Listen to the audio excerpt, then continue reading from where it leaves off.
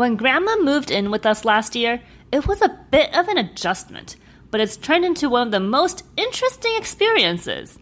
Every morning, she's up early, playing her favorite Teresa Teng songs while making breakfast. At first, I thought it was going to drive me nuts, but now I love starting my day with a bit of nostalgia. Plus, her stories are legendary. It's like having a living history book at home.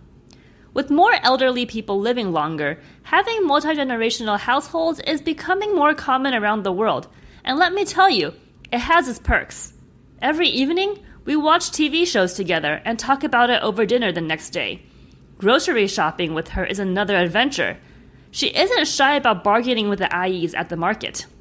Living with grandma has made me realize how much we can learn from older generations and how these experiences bring families closer.